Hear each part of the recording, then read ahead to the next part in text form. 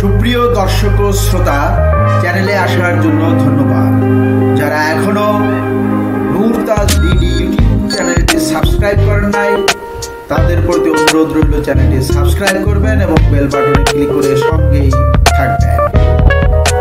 রাষ্ট্র কাঠামো মেরামতের লক্ষ্যে বিএনপির সাতাশ দফার রূপরেখা এ নিয়ে আলোচনা করব। আশা করি সঙ্গেই থাকবেন। কমেন্টস করে আপনাদের মতামত জানিয়ে দিবেন। একটি সংবিধান সংস্কার কমিশন গঠন করে বর্তমান অবৈধ আওয়ামী লীগ সরকার কর্তৃক গৃহীত সব অযৌক্তিক, বিতর্কিত ও অগণতান্ত্রিক সাংবিধানিক সংশোধনী ও পরিবর্তনগুলো রহিত সংশোধন করা হবে। প্রতিহিংসা ও প্রতিশোধের রাজনীতির বিপরীতে বাংলাদেশি জাতীয়তাবাদের ভিত্তিতে একটি অন্তর্ভুক্তিমূলক রেইনবো ন্যাশনস প্রতিষ্ঠা করা হবে।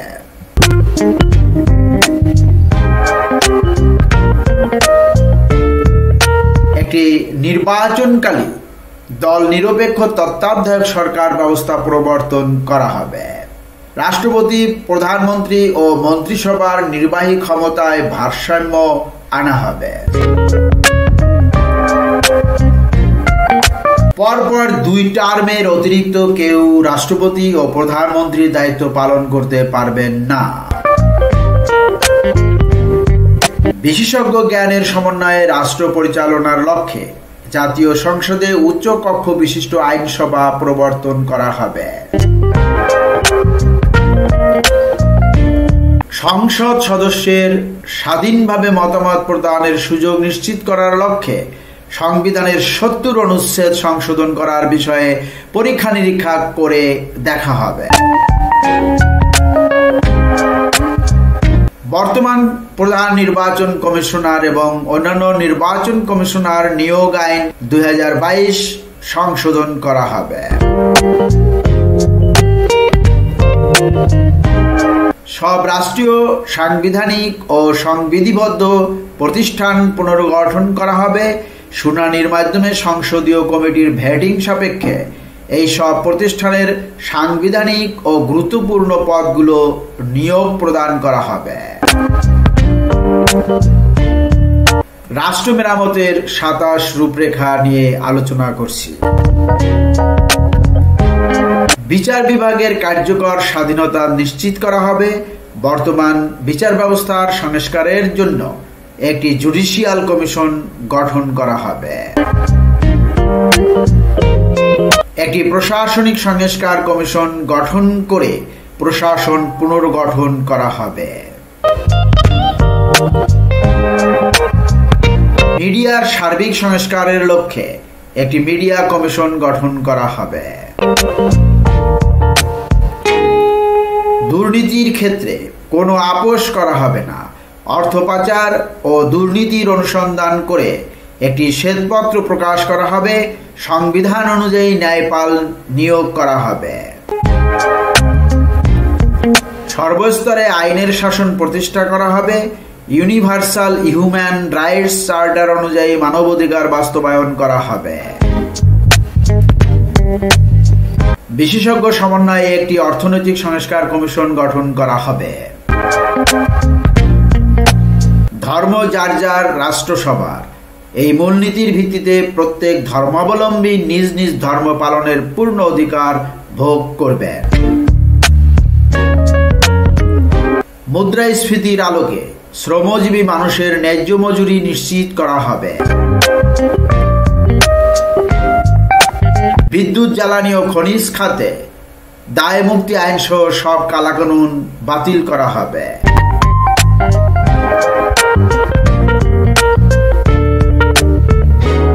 বৈদেশিক সম্পর্কের ক্ষেত্রে বাংলাদেশের জাতীয় স্বার্থকে সর্বোচ্চ প্রাধান্য দেওয়া হবে। বাংলাদেশ ভূখণ্ডের মধ্যে কোনো প্রকার সন্ত্রাসী তৎপরতা বরদাস্ত করা হবে না এবং কোনো সন্ত্রাসবাদী তৎপরতা আশ্রয় প্রশ্রয় পাবে না। সন্ত্রাসবাদ জঙ্গিবাদ ও উগ্রবাদের বিরুদ্ধে কঠোর ব্যবস্থা গ্রহণ করা হবে।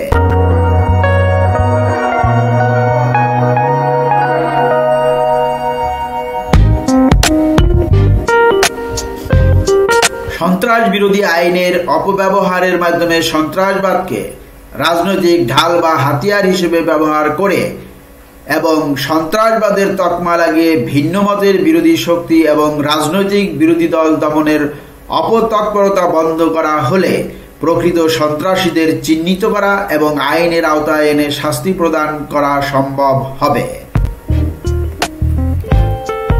দেশের সার্বভৌমত্ব সুরক্ষায় প্রতিরক্ষা বাহিনীকে সর্বোচ্চ দেশপ্রেমের মন্ত্রে উজ্জীবিত করে গড়ে তোলা হবে।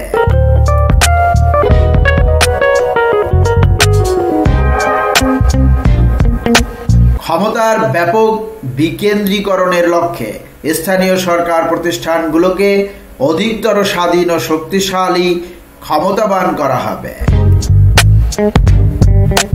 রাষ্ট্রীয় উদ্যোগে মুক্তিযুদ্ধের শহীদদের একটি তালিকা প্রণয়ন করা হবে এবং তাদের যথাযথ রাষ্ট্রীয় মর্যাদা ও স্বীকৃতি প্রদান করা হবে। যুব সমাজের ভীষণ চিন্তা ও আকাঙ্ক্ষাকে ধারণ করে আধুনিক ও যুগ উপযোগী যুব উন্নয়ন নীতিমালা প্রণয়ন করা হবে। এক বছর ব্যাপী অথবা কর্মসংস্থান না হওয়া পর্যন্ত যেটাই আগে, আন্তর্জাতিক মানদণ্ড অনুযায়ী সরকারি চাকুরিতে প্রবেশের বয়স সীমা বৃদ্ধির বিবেচনা করা হবে। নারীর ক্ষমতায়ন নিশ্চিত করার লক্ষ্যে সুনির্দিষ্ট কর্মসূচি গ্রহণ করা হবে জাতীয় সংসদে মনোনয়নের ক্ষেত্রে। নীতিগতভাবে নারীদের প্রাধান্য দেওয়া হবে।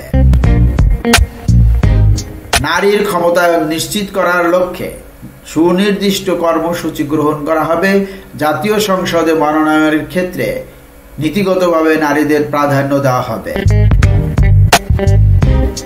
সবার জন্য স্বাস্থ্য এই নীতির ভিত্তিতে যুক্তরাজ্যের এনএইচএস এর আদলে সর্বজনীন স্বাস্থ্যসেবা প্রবর্তন করা হবে।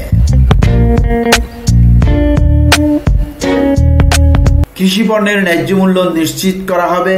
পরবর্তীতে যথাসময়ে অন্যান্য বিষয় ভিত্তিক সংস্কার প্রস্তাব ও উন্নয়ন কর্মসূচি প্রকাশ করা হবে। বিএনপির পক্ষ থেকে বলা হয়, রাষ্ট্র কাঠামো মেরামতের এই রূপরেখা অধিকতর সমৃদ্ধ করতে গঠনমূলক পরামর্শ জাতীয় বৃহত্তর স্বার্থে সাদরে গ্রহণ করা হবে। সুপ্রিয় দর্শক ও শ্রোতা, ভিডিওটি আপনাদের কেমন লাগল এবং বিএনপির এই রূপরেখা আদৌ বাস্তবায়ন করা সম্ভব কিনা বা সম্ভব হলে আপনারা মতামত জানাবেন। ধন্যবাদ।